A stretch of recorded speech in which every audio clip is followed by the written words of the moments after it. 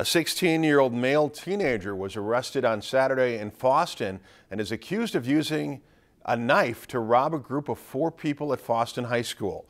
The Polk County Sheriff's Department says it was called to the scene around 5 p.m. on Saturday and arrested the suspect then. No one was injured in the incident and the investigation into the case is ongoing. If you've enjoyed this segment of Lakeland News, please consider making a tax-deductible contribution to Lakeland Public Television.